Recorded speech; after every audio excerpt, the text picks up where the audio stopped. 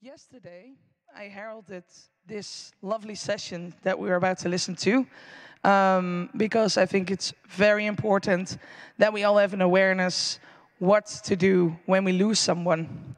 Um, I think uh, you did a great job yesterday. It was lovely, and I'm- really looking forward to this one. Um, they are doing it again because the audio wasn't recorded. so now, uh, um, yeah, I think you practiced yesterday, and now it's for the real thing, maybe. Um, we met first uh, in real life yesterday while following each other for years, I guess. So that was really nice. So when I heard that they were going to do the talk again, um, I just felt compelled to be their herald again. And I'm, I'm really grateful and uh, thankful uh, and looking forward to this amazing talk. So, Jilles and Jurre, please give them a big applause. Thank you. Thank you. So um, I'm going to start this talk off with a trigger warning. We are going to mention suicide a lot, and if you are not capable of hearing, withstanding, or talking about that topic, I recommend you leave now. You've got about the next 30, 35 seconds to, um, to leave, and afterwards we're going uh, full steam ahead. Um, meanwhile, if you or anyone you know need help, there are resources out there. So there's this big QR code which will lead to um, to a list of the different helplines that you can reach um, internationally. Um, yeah, so know that there is help available. Furthermore, um, this talk is recorded slash streamed. Um, in theory, once the Q&A session starts, uh, the recording itself will stop, but until then, it will be um, it will be recorded the stream. So if you want to like give any of your input or your own personal stories, uh, please wait until during the Q&A or even better, afterwards, and just approach us um, afterwards. You are allowed to just take pictures of this, record it, uh, just share it. Um, if you share it on Twitter, please tag us. And uh, without further ado, I'm going to give the word back to Jilles. Okay, so uh, I'm really grateful um, to be here again. Um, this is like a um, thing that I really needed, this camp. So for me, this is Woodstock for hackers. There's like so much interaction with all the people, with all the new friends that we made. Uh, I really, really, really enjoyed it. Um, but we had another one uh, a few years ago, five years ago to be uh, exact, and it was SHA, SHA 2017. And yesterday I woke up at like 3 a.m. in the night and I realized that it was the day we went to camp just before my mother died. Um, and at that time, my colleagues came to my house, so I opened the door. So I said, "You're way too early. The funeral is just in the uh, in the afternoon." He said, Well, we want to tell you that uh, Joost has been stabbed. Stabbed to death in the, in the metro in Amsterdam. So we, we don't want to uh, have you heard, hear it in the news. So during the funeral, I actually mentioned like my appreciation for him, but I just realized that that's like five years ago. So it is kind of hard, like re-experiencing it. Sorry, I don't have any, any voice anymore, but. Uh, I think it's important that you are able to show your feelings and you should not be scared to show your feelings. Uh, but it makes it harder than like an average day. Uh, I don't know anymore. Like, yeah. Are you going to do like the next ones, or was I? So this all started out as just something that we got more skilled than an average person, right? We are in, an, uh, in a situation where we can do stuff that the average person can't. Talking about installing an app on Windows or deleting an email from a, um, from a ma mailing list or your email server. Um, there are some people that still struggle with that. Um, we are, of course, as like a community, but also we personally have um, have some skills that other people do not have, and um, because of that. Let, let, me take it from there. Sorry. Go ahead. Um, so, at first, you you skill yourself, so you become like the smart nephew. You will be able to help other people. So you install like a new hard disk upgrade your screen, uh, install like a graphics card, maybe fix something, recover hardware, and people know uh, how to find you. It's okay. Yeah, thanks. Um, so they know how to find you, and uh, you help them out with all kinds of problems. And sometimes those problems are like really odd problems. Uh, one of uh, the the situations I had uh, a person that was like having roman romantic ideas with like the uh, the partner sharing like a picture. And that picture turned out to be like the background of the computer and there was like the same PC that was used like for schoolwork so you get a call can you help me out we don't have to see each other um, make sure that, that it works. So that requires a lot of trust for calling someone in to fixing some sort of problem that you're not like familiar with, uh, you're not tech savvy. Uh, and I think that's what this story is about. So we're here to help, and like we're not here to um, be your unpaid IT department. So there's like people telling you, can you install an illegal version of Windows? Uh, I don't like uh, two-factor authentication. I don't like uh, having different passwords. We're not fixing people here. So um, we like to help, but we like to help in a different way. And this work, the work that we do, the work that we're uh, about to tell about, is work that we not applied for. It is, uh, we are not looking for that work, but that work's actually looking for us. So my first situation was a family member, a remote family member, um, that committed suicide and did not leave a note. So there was no like clear situation if the person uh, did it like consciousness? Uh, did it uh, uh was like uh, influenced by someone else? So the uh, the family reached out to me at that time. I was playing with computers, but I was not as professional as I was now. And it turned out that person had all kinds of measures to protect his invention for others to be found. So to be able to get to the hard disk, you need to like hold a special magnet on a special place to enable it. Uh, data was like encrypted in pictures, in uh, uh, uh, in audio, in all kind of ways. So I learned a lot about all kind of different uh, methods by like googling Stack Overflow, uh, Wikipedia, and then downloading the different tools to help and do that. So if you do this work, you run into all kind of stuff. So you need to be careful and you need to be considerate for the people that you're, you are doing this work for. So first of all, you don't go and compromise crime scenes.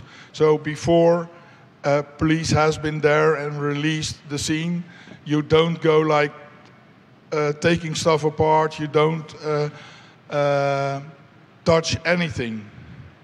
If someone is still alive, respect uh, their uh, choice. So it's not my, and this, these are not the guidelines, these are just our guidelines. But uh, don't tamper with the data of the living. There's like GDPR, there's AVG.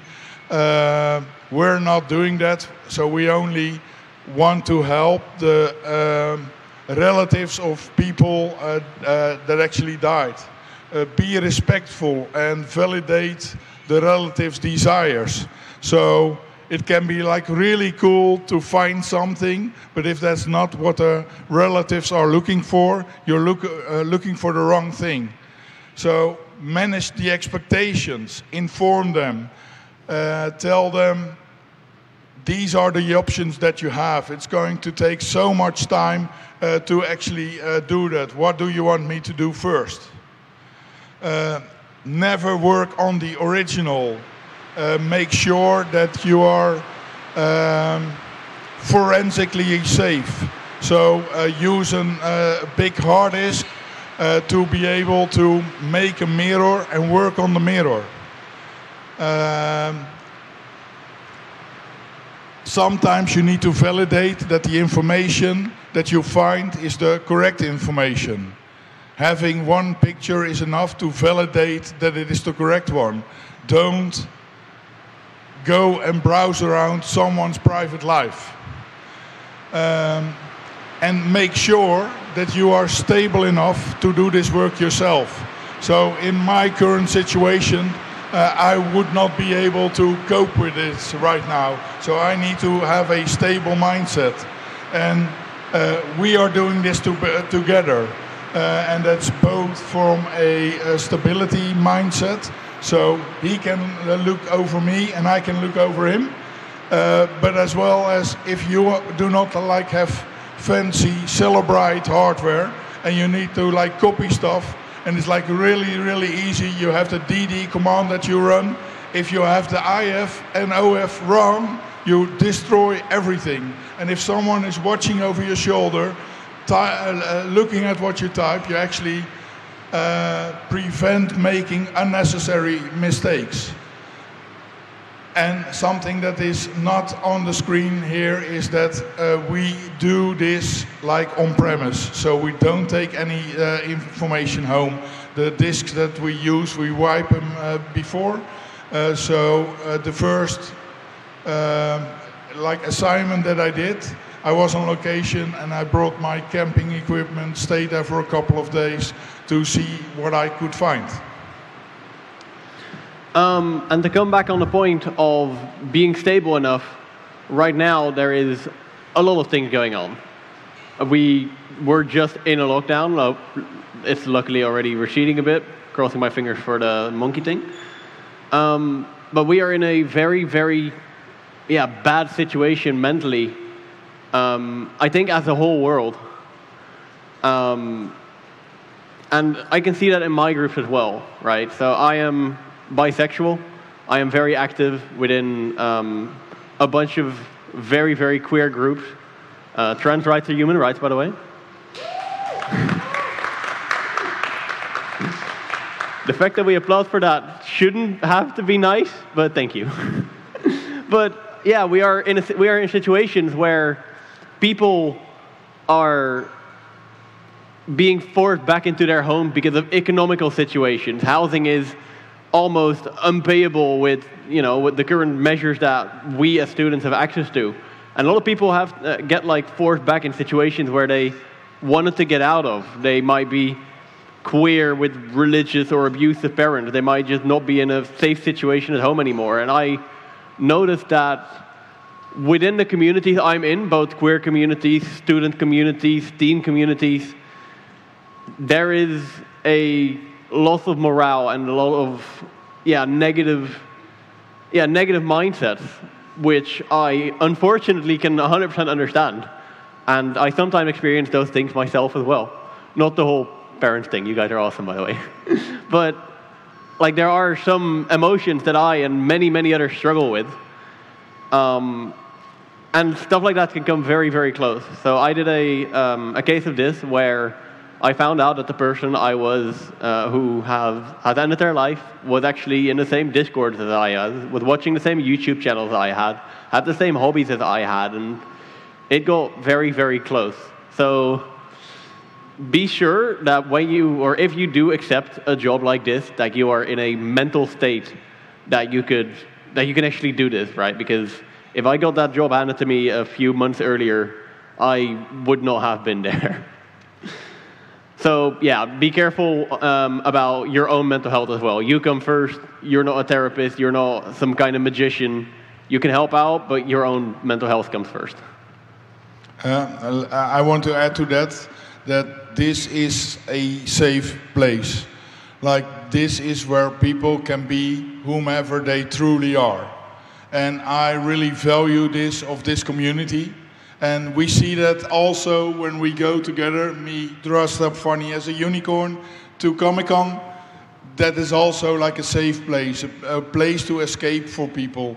People that are trans, people that are called by uh, their dead names by their parents, uh, trans rights are human rights people. So I think it is really important that we are um, being really uh, kind and caring for the people in difficult situations. And I've seen the hackerspaces um, uh, become a safe haven during the COVID times uh, to shelter people that were in uh, different uh, difficult situations. So I really value this community. Yeah, it is very important to have some sort of safe space, and that could be within the comic uh, Comic Con community, like anime. That could be within the furry community. That could be within the hacker community. It could be even within your own school or your own friend groups. It's just very important to have a space like this, and I, I think it's very nice that um, that hacker spaces are as open as and as accepting as they are. Yeah. So uh, a couple of object, uh, objectives that we run into in the assignments that uh, uh both you and I did and that, that I did alone is like find answers to questions like why were there other people involved? Uh, suicides without goodbye notes.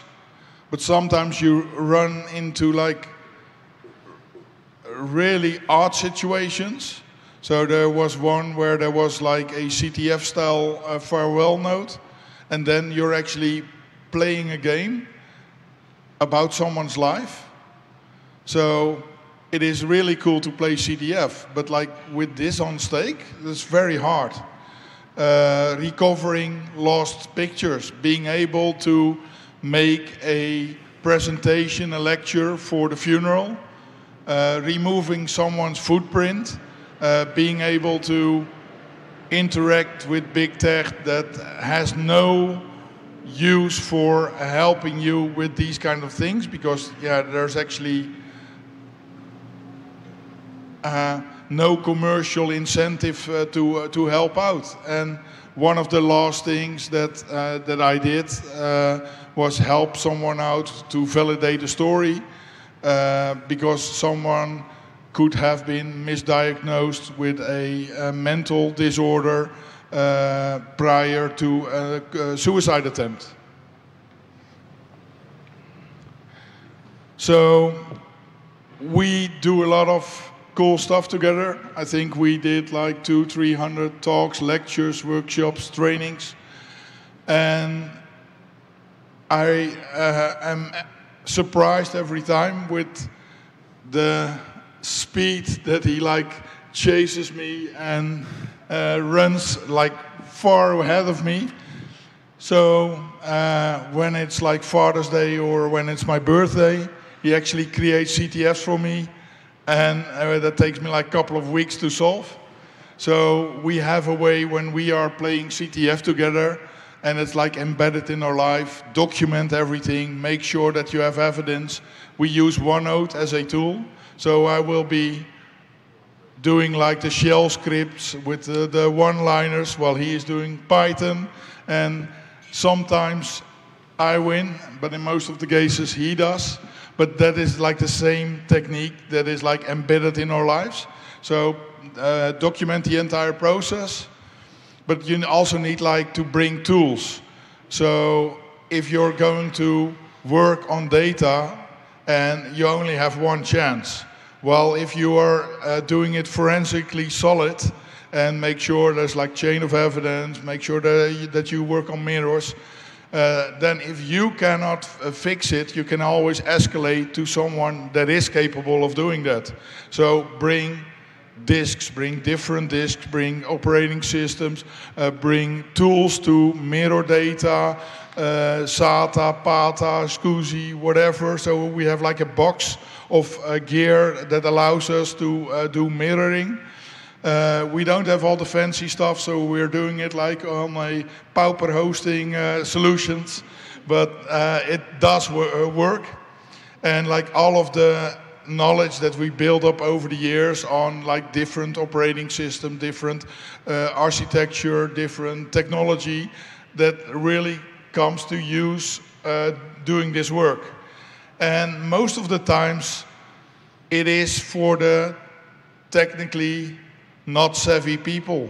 So someone in the household is doing the text someone is like uh, keeping all the pictures on the disk, uh, and another person is not able to uh, find everything because they are not used to working with computers. They don't know where the data is. So a simple grep dash ISRA on a specific keyword will actually be a world uh, of change for someone that actually finds whatever they need uh, or a strings on a document. And sometimes it's like simple plugins as a Greasemonkey, uh, where you can like override data. So if someone wants to remove the digital footprint, it's not just a matter of enabling a switch and everything is gone. Um, yeah, I really had a hard time uh, uh, removing the digital footprint, and I scripted everything. It took me like a month uh, to uh, have all these scripts running for like unliking, unfriending, removing posts, overwriting data with garbage information. It's like yeah, stuff that you do over time. And just as in commercial work, where you have uh, where, where you are paid for an amount of hours or an amount of days uh, being available, you have the same stuff too when you're working on this. So that first assignment that I did, the person had like over a hundred hard disks. So where do you start? Yeah, obviously on the ones that are in the computer. But if you are you are finished, are you going to work on uh, everything together? Are you looking at like the dates on the disk? Are you looking at uh, is this a clean one or a dusty one? So um, uh, and on the the, the CTF one. Uh, uh, stuff was uh, stored on accounts, accounts that expired, services that stopped working. Um, phone numbers that were terminated, so no longer having the, the second factor. So we already talked about uh, the uh, emotional uh, part, so it's the, the personal struggles, but also like the similarities, like you, like you said, someone in the, in the same age, or uh, like a, a family member or someone in the same community. And yeah, sometimes you run into like really special stuff like the steganography or like the tripwires, the me mechanical uh, ones. But those are just the people that are not tech savvy. But we are all IT professionals, at least I assume, and yeah, to assume is. Uh, but we try to protect ourselves. So we uh, encrypt our stuff because otherwise people will say we are crazy. So we have a DM dmcrypt, we have a BitLocker, we have a two-factor, uh, we use a YubiKey, we have a telephone number. But what happens if you are no longer there? Is your partner able to get to your data? Did, did you make like an understanding about that to give access uh, uh to uh, yeah to your partner. So yeah, some of the results, and I think the most important one is the ease of mind for the relatives. So if a case is closed, then it's just like it ends here, and if someone that is willing to help you out and find the answers, uh, is doing their best to come up with solutions, then at least you've tried.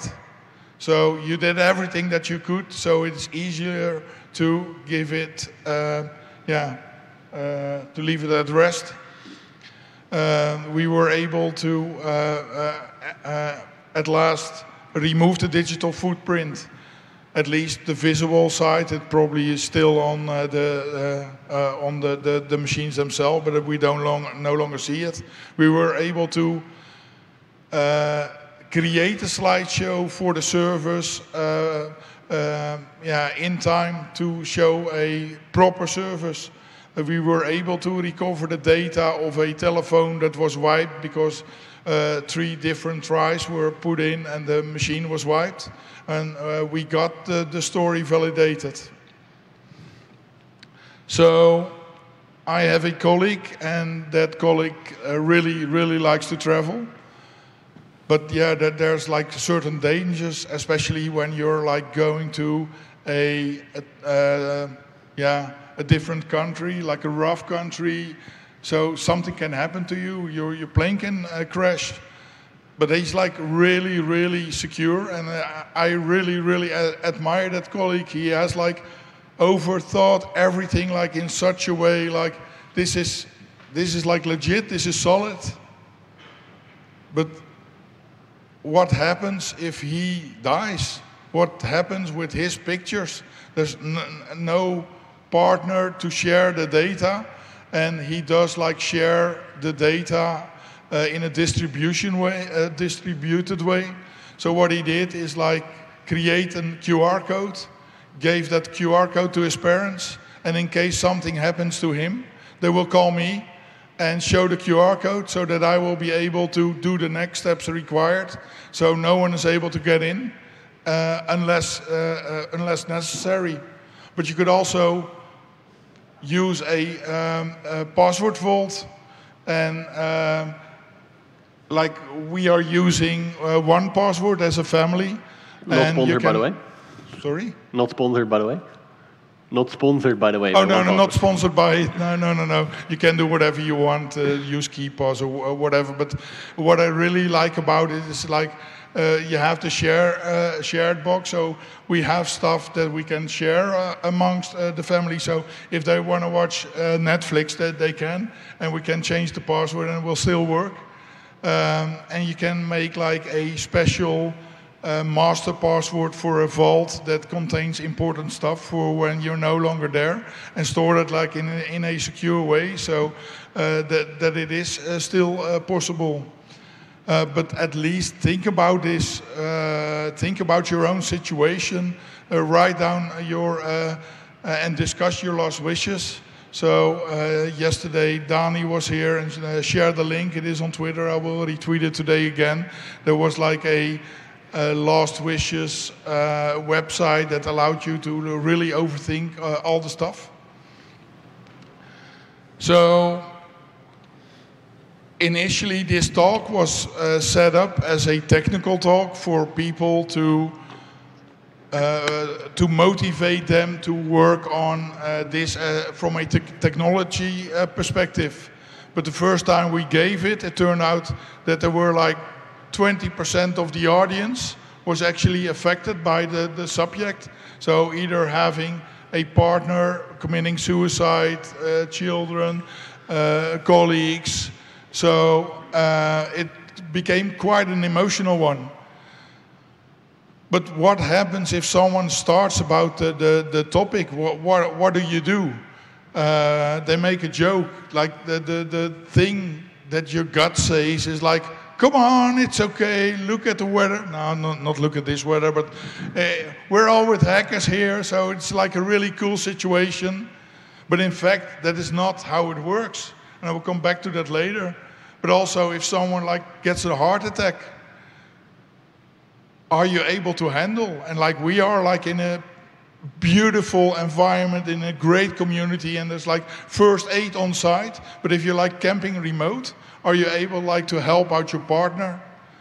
And you don't have to learn it like if you are working in a company they are always looking for volunteers to do like the, the company uh, uh, first aid. And you know how to learn how to extinguish fires and you know how to uh, try and help uh, save a life. So consider that uh, um, yeah doing that as well. So a friend of mine who's no longer here uh, talked about suicide a lot and I uh, had conversations with him about what was going on in his, uh, his mind. I never said uh, it is all okay. Uh, I just want to hear his story. Like, be sincere. Um, if you have someone that suggests that they're not, uh, their life's not valuable enough, tell them sincerely, take time, take them apart, are you really considering committing suicide? Do you already have thoughts about it? Do you have it planned? Do you know how to do it? And that really feels counterintuitive. But by saying it will all be okay, you're actually dismissing this person's feelings. Well, if you are taking the time and uh, uh, talking about the subject, you're ever, uh, actually giving them breathing space so they're able to share their story and you will be able to like triage the situation. Like, do I need to interact now or do I need to uh, like be there for, uh, for them? So there's a training that you can, can follow. So uh, one of the cases that I did uh, in the, the call log was a number 113. So the person actually reached out to the situation to see and find if he, uh, the, the person could get help. But 113 was not operational. 113 was at that time uh, 0900 uh, 113, even though they said they were 113. And actually, the parents made sure the, and fought to have it like the, the, the, shortened number. So the number on the right is all the international numbers for every country that you visit. And the ones, the two on the left are uh, trainings that you can follow to do role play on these kind of situations. So what do you say and how does that feel for a person that is uh, uh, uh affected by that? It takes you just one hour of your time, but it will make a difference. It can actually save a life. So consider doing these. I will share them on Twitter as well. My handle is uh, underscore com. So that concludes our talk. We are like really grateful for uh, allow for being allowed to do this again because we think this is a very important topic. And thank you very much for being here. We really appreciate that. Thank you.